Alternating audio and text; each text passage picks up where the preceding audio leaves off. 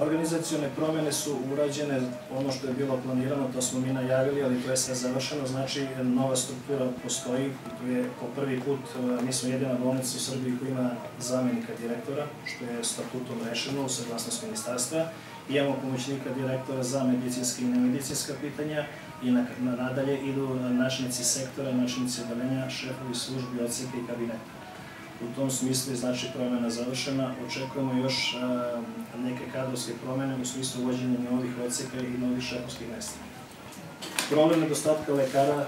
je, se rešava sukcesivno, znači ne možemo odjednom da damo veliku broj specializacija, ali smo za sada do ove godine dobili saglasnost za četiri specializacije, jedna internistička onkologija, jedna ginekologija i dve specializacije za urgentnu medicinu. A sledeće godine bolnica ima pet lekara koji stiču pravo, koji su u stalnom radnom odnosu i koji mogu biti upućeni na specializacije, sa opet idejom da uz pomoć e, ministarstva i uz pomoć drugih e, subjekata omogućimo i određen broj lekara koji za sada nemaju stalni radni odnos da budu primjeni da dobiju specializacije.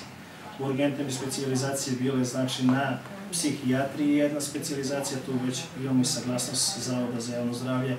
hirurgiju bi pokušali da dobijemo neku specializaciju, anesteziju ako budemo mogli da uradimo i to je nešto što bi bilo uz ove specializacije za početak.